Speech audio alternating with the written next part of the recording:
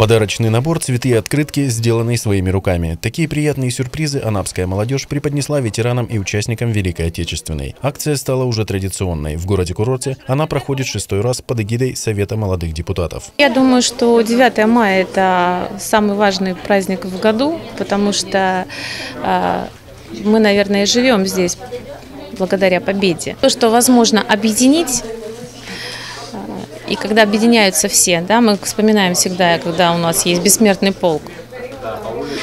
Также здесь, наверное, все происходит. То есть это, ну, быть безразличным, это, наверное, это не та история. Разделившись на группы, добровольцы прошли по всем важным адресам. Ветераны не скрывали эмоций и благодарили ребят за внимание и заботу, отмечая, что для них самое главное, чтобы следующие поколения сохранили память. Они ж создали нам благоприятные условия для нашей жизни, для нашего развития.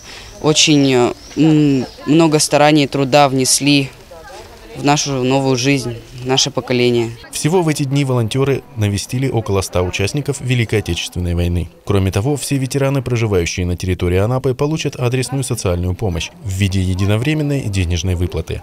Никита Бойко, Ксения Сипко, Роман Беркалиев, Анапа регион.